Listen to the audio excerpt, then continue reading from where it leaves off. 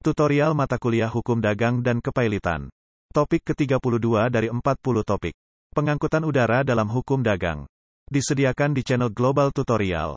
Pengangkutan udara adalah pengangkutan yang memanfaatkan sarana perhubungan udara, yaitu pesawat terbang yang dioperasikan untuk perniagaan. Pengangkutan udara itu meliputi pengangkutan barang dan penumpang. Perjanjian pengangkutan udara adalah perjanjian antara pengangkut melalui udara dengan penumpang atau pengirim barang. Pengangkut dengan menerima ongkos angkut bertugas mengangkut penumpang atau barang sampai tempat tujuan dengan selamat.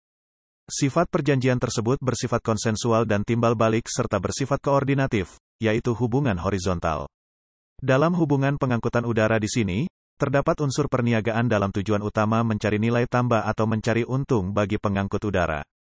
Dalam sifat konsensual perjanjian pengangkutan udara ini, pengangkut diwajibkan menerbitkan tiket, Hill of Lading, atau surat muatan yang berperan sebagai alat bukti.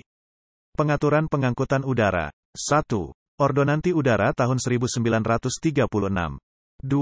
Ordonanti Udara tahun 1939. 3. Undang-Undang Nomor 83 Tahun 1958. 4. Undang-Undang Nomor 15 Tahun 1992. 5. Undang-Undang Nomor 1 Tahun 2009. Syarat khusus pengangkutan udara. Setiap pengangkutan udara sebaiknya bergabung dengan International Air Transport Association, Asosiasi Pengangkutan Udara Internasional, disingkat IATA, karena IATA merupakan organisasi yang menyeragamkan syarat-syarat yang didasarkan pada syarat umum yang bersumber dari Perjanjian Warsawa. Syarat-syarat meliputi 1. Syarat pengangkutan 2. Syarat penumpang 3. Syarat bagasi. Sementara itu, syarat khususnya penting bersumber dari IATA untuk penumpang dan pengirim. Syarat khusus tersebut tercantum dalam tiket yang tunduk pada Ordonanti Pengangkutan Udara tahun 1939. Ordonanti Udara Indonesia dibuat sesuai Perjanjian Warsawa tahun 1929 yang berlaku di Indonesia tahun 1933. Perjanjian Warsawa bertujuan mempersatukan beberapa ketentuan pengangkutan udara internasional, sedangkan yang berlaku di Indonesia adalah ordonansi, tetapi ordonanti ini hanya berlaku bagi penerbangan niaga yang mengatur tiket penumpang. Fungsi tiket penumpang. 1. Tanda bukti adalah orang yang telah membayar ongkos angkut berhak sebagai penumpang, berhak naik pesawat yang disediakan.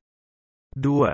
Syarat dalam perjanjian pengangkutan udara, bukan syarat mutlak sebab meskipun tanpa tiket, tidak berarti tidak ada perjanjian, karena sifat perjanjiannya adalah konsensual maka tiket hanya sebagai alat bukti.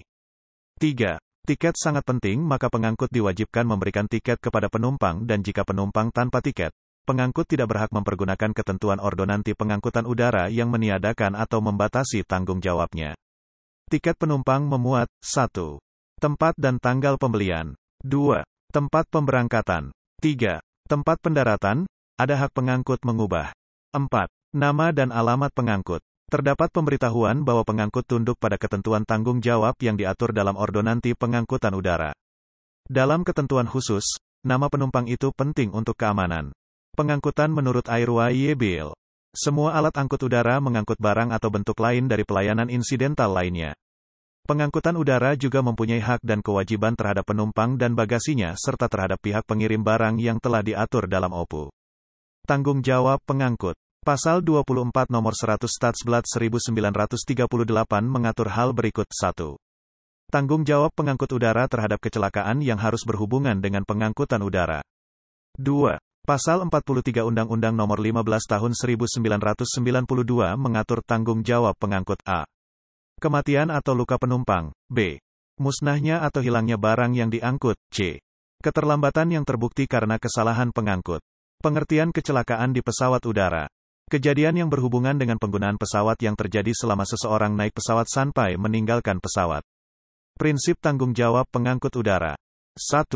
Fault liability, kesalahan, yang harus membuktikan adanya kesalahan adalah pihak yang dirugikan.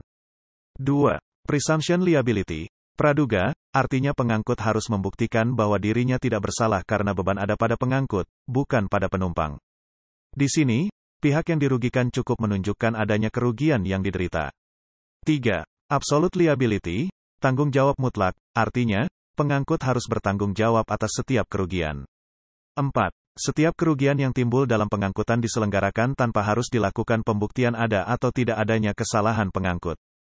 Keterlambatan dalam pengangkutan udara, menyangkut yang diderita penumpang, bagasi ataupun kargo diatur pasal 43 Undang-Undang Nomor 15 Tahun 1992 tentang pengangkutan udara atau penerbangan. Prinsip yang dipakai dalam keterlambatan adalah bukan seperti pada penumpang meninggal, tetapi penumpang asal dapat membuktikan telah mengupayakan keselamatan barang tersebut. Pasal 29 Ordonansi Pengangkutan Udara. Hal tersebut disebabkan oleh satu, Keterlambatan sangat sering terjadi. 2. Kerugiannya relatif lebih kecil. 3. Kelambatan pada dasarnya pelanggaran kewajiban yang tidak dipenuhi sebagaimana seharusnya. Pengangkut dapat menolak bertanggung jawab atas kerugian. Pengangkut dapat menolak bertanggung jawab atas kerugian asal dapat membuktikan bahwa telah berusaha menghindarinya kelambatan tersebut. Hal-hal yang dapat membebaskan pengangkutan dari tanggung jawab diatur dalam pasal 29 KUHD sebagai berikut. 1. Pengangkut dapat membuktikan telah mencoba melakukan tindakan untuk mencegah atau menghindarkan kerugian. 2. Pengangkut tidak mungkin mengambil semua tindakan untuk menghindari semua kerugian, overmah. Demikianlah materi topik ke-32 tutorial kuliah hukum dagang dan kepailitan. Channel Global Tutorial akan sangat membantu masyarakat umum dan para mahasiswa yang sedang atau ingin kuliah di universitas terbuka, atau kuliah di perguruan tinggi mana pun di Indonesia. Ratusan video tutorial S1 Ilmu Hukum, S1 Ilmu Pemerintahan, S1 Ilmu Komunikasi, S1 Ilmu Manajemen, S1 Ilmu Administrasi dan lainnya disajikan di Global Tutorial.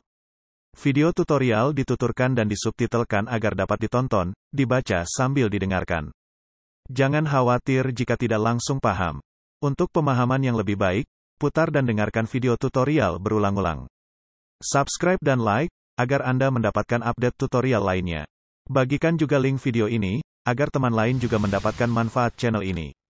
Sekian dan terima kasih. Sampai jumpa.